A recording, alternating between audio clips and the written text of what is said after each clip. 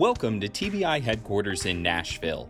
This building opened in the year 2000 and houses the largest of our state's three crime laboratories.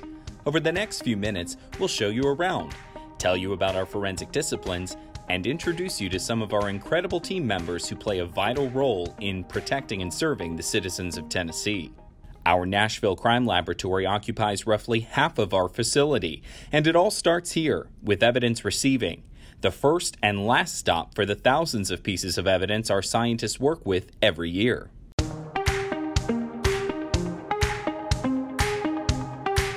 The Evidence Receiving Unit receives, inventories, distributes, and stores all evidence submitted to the laboratory from law enforcement agencies across the state. In order to accomplish this efficiently, there are evidence receiving units in each of TBI's three crime laboratories. The chain of custody internally begins and ends here, and it's very important we maintain this chain of custody. That way, the evidence, the integrity of all the evidence can be maintained. We know where all the evidence is at any given time. Forensic technicians must be meticulous in documenting certain things about each item of evidence, including the date and time of submission, submitting officer and agency, and how each item is packaged. They must also pay close attention to ensure each item submitted has the proper labeling and seal. Forensic technicians are responsible for creating a unique laboratory number for each new case and exhibit numbers for each item in the case. Once these individual numbers are generated, they will label each item with the proper lab number and exhibit number, along with a computer generated barcode and their individual ID. This information is paramount for maintaining a proper chain of custody for the evidence while in TBI hands, as well as returning evidence to the submitting agency. We'll continue our tour on the second floor by heading down this hallway, where on the left you'll find our microanalysis unit.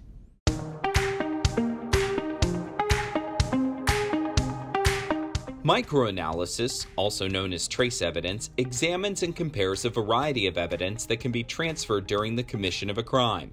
Trace evidence helps put together pieces of the investigative puzzle, linking people or objects to places.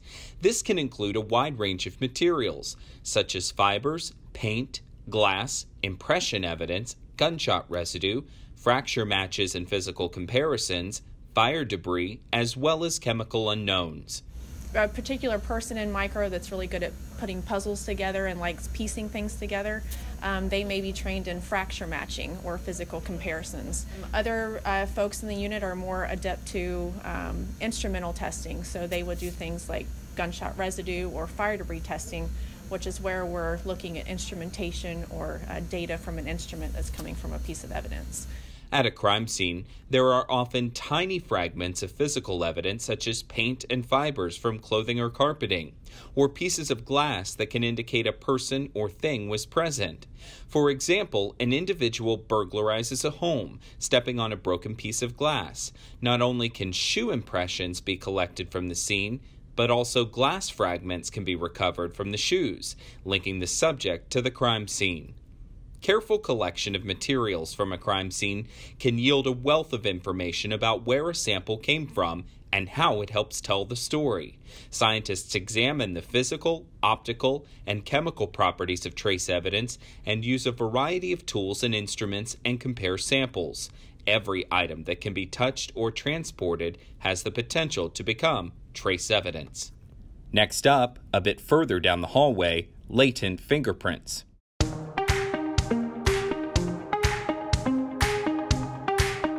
Training for a TBI latent print examiner takes at least a year and maybe up to two years. During that time, a scientist learns about the history of latent prints, how friction ridge skin develops, how prints are left behind, as well as how to compare prints developed to known impressions. I think the biggest value of using latent prints to solve crime is the uniqueness and persistence of latent prints. They're unique to each individual as no two prints have ever been found to be the same, and they're persistent throughout somebody's life. Examining items of evidence for the presence of latent fingerprints is one of the most common forensic examinations. When you touch an object with your friction ridge skin, you leave a reproduction of those ridges, known as a latent print. Latent in Latin means hidden, so these prints are not usually visible to the naked eye and require some type of processing to make them visible. Scientists in this unit process two main types of evidence porous and non porous. Porous items are those in which the print soaks into the object, such as paper, cardboard, or unfinished wood. Non porous would be items in which the print remains on the surface of the object, such as glass, metal, and plastic. There are different tests for porous and non porous items. Additionally, scientists can develop latent prints on the sticky side of tape, as well as prints in blood. Once a scientist develops a latent print, it can be compared to known individuals associated with the case or searched through a national database known as AFIS. Our lab administration team has office space on the second floor as well. Next, we'll head upstairs. Our first stop on the third floor is forensic biology and CODIS.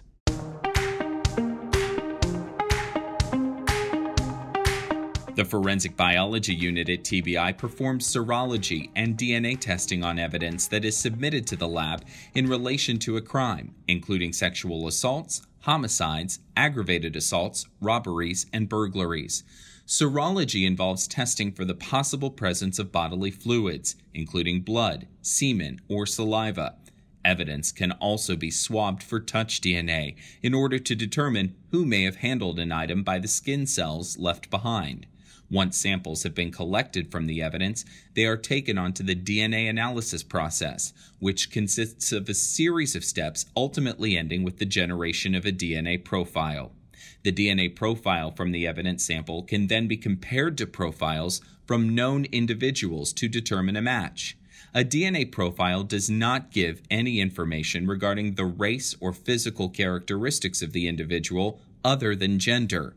Samples from evidence can be entered into the CODIS database to be cross referenced against other crime scene samples, along with offender and arrestee profiles. If you have a match between a piece of evidence and a known person, the statistics that are provided to give weight to that match are going to be in the numbers of 1 and 1 in sextillion, which is a 1 with 21 zeros after it. And just to give you an idea, the world population is around 8 billion, so much larger than any people that have ever lived on the earth. In addition to the standard educational requirements TBI has for forensic scientists, the FBI mandates additional coursework in genetics, biochemistry, molecular biology, and statistics for DNA analysts. The training process for an analyst in forensic biology typically lasts between 12 and 18 months and consists of observing qualified analysts, presentations on various topics, working mock evidence samples, and working evidence samples under the close supervision of a qualified analyst. The final step in this lengthy process is a mock case followed by a mock trial.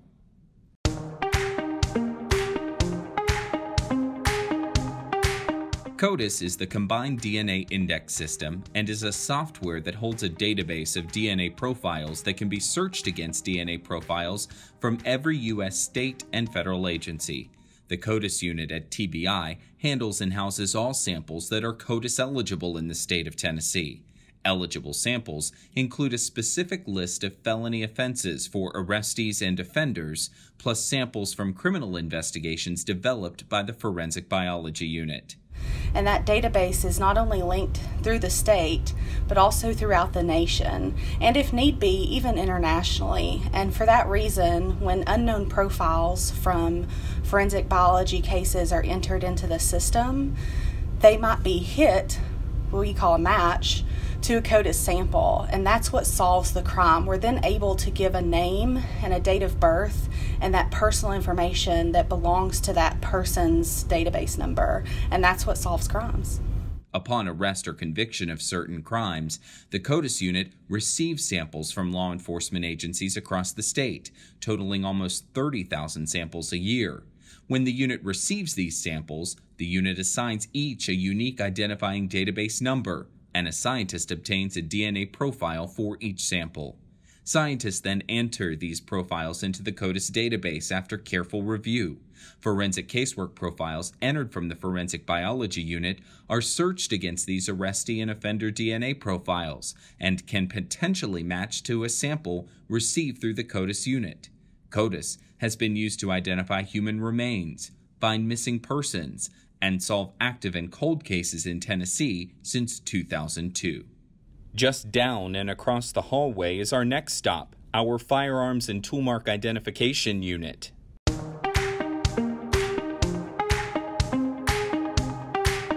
The training period for scientists in the Firearms and Toolmark Identification Unit lasts two years, making it the longest in the entire forensic division. Scientists must be well versed in the many different types of firearms and ammunition. The unit's primary function is to determine if a bullet, cartridge case, or other ammunition components were fired from a particular firearm. Scientists do this by using a comparison microscope, which allows one to examine two pieces of evidence simultaneously. So, what I'm looking for are two sets of characteristics, class and individual. These are marks that are going to be reproducing from the firearm, which is the source of these marks. If I find that these marks are reproducing, then I can identify a piece known as evidence, say from the scene or from an ME's office, back to a particular gun. So here I've got two bullets up. I've got one test fire, a known source production from the gun, and I'm comparing it to evidence from the scene. So here I'm looking for these very fine striated marks that are reproducing from the gun, and I found them on the bullet from the crime scene. Additionally, scientists in this unit determine caliber with a single bullet and generate a list of firearms that could have fired that particular bullet, provide a range of distances at which the muzzle of a firearm was in relation to a particular target when it was fired, restore obliterated serial numbers, and determine the trajectory of shots into a vehicle and recover the evidence from inside. Images of cartridge cases from crime scenes or from test firing a firearm can be entered into NIBIN, the National Integrated Ballistics Information Network database. These images are compared with images of cartridge cases that have previously been entered to determine if a gun has been used in multiple shootings. Further down and across the hall, through these windows, is our next stop forensic chemistry.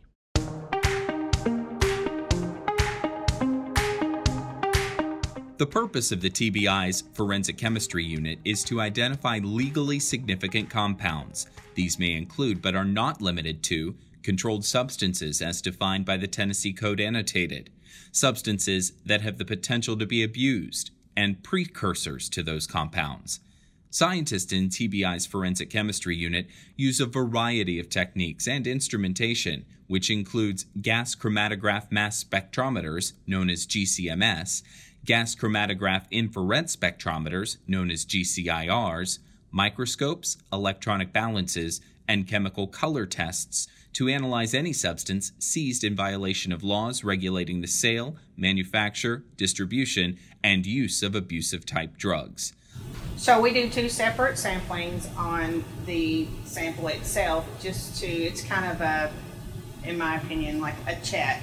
If you get the same answer in both cases, then that further validates your result. It's kind of up to the analyst's discretion, but as long as you have one good test that will tell you the structural information about the compound, then you can use that. Unlike the toxicology unit, the forensic chemistry unit deals with solids and liquids outside of the body. Scientists in this unit maintain close working relationships with TBI's Drug Investigation Division to analyze clandestine cases as well as provide knowledge on current drug trends. Time now to round the corner for our final stop on the third floor toxicology.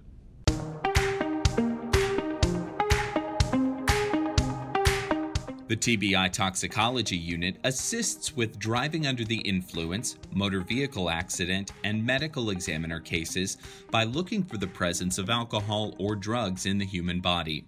Specifically, scientists work to determine any drugs that could potentially impair an individual's ability to operate a motor vehicle. Toxicology is always changing. If you think about all the new drugs that are coming out every day, toxicology in, in, this unit, we have to be able to adapt and make changes quickly. Uh, you know, a new drug may hit the market, and if it has a potential for abuse, you know, people are going to abuse that drug, and so we have to be able to identify that drug to try to, you know, convict the people that are abusing it. In most cases, scientists do this by analyzing samples of blood submitted to the crime laboratory. First, scientists test samples for the presence of ethanol, the type of alcohol found in alcoholic beverages. From there, analysts screen samples to determine what drug classes or families are present. Additional tests will then identify what and how much of a specific drug from that class is present in the sample. Now it's time to head back downstairs to the second floor, where you'll find our breath alcohol unit.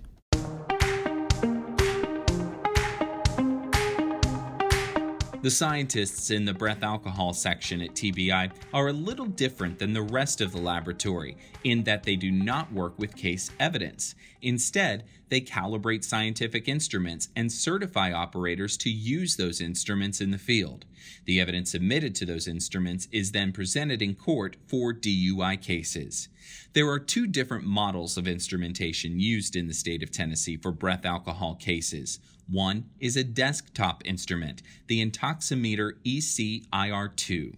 The other is a portable, handheld instrument, the Intoximeter ASV-XL. Each of these instruments requires separate certification courses instructed by members of TBI's breath alcohol section. The way that we that alcohol works in the human body is it comes out in your breath at a, at a ratio of what's in your bloodstream. And so we can get a sample from someone's breath and it can be very consistent with what's in their blood. That's something that is a lot faster than getting a blood draw and submitting the case, the kit, and it coming here and then and then going through the steps in toxicology. It's a good easy way to test a sample without a lot of um, for our operators they don't have to be scientists we do all the science with the calibration Instrument calibration is performed on all evidentiary instruments in the state of Tennessee by TBI breath alcohol scientists. These calibration activities occur every 90 days or less. Scientists may do this process at where the instrument is located or at one of our three crime laboratories. This process involves using certified reference materials of known values being run through the instrument to ensure it is still reading different alcohol levels at an appropriate range. Operator certification is performed in person to individuals at police agencies, jails, etc. Students are instructed on how the instrument works, how breath alcohol testing is possible, how to perform a test, and troubleshooting to alleviate any potential errors during the testing procedure.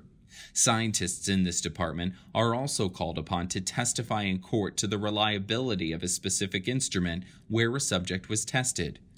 These scientists often testify to calibration activities, maintenance on a specific instrument, operator training, and any other questions regarding breath alcohol. TBI also has crime laboratories in East and West Tennessee, and our scientists don't just stay in the laboratory. They also rotate on an on call violent crime response team to gather evidence in the field on major crime or law enforcement use of force scenes. Thanks for watching. If you have any questions, feel free to contact us on social media. Find us on Twitter, Facebook, and Instagram at, at TBInvestigation or visit us online at tn.gov slash TBI.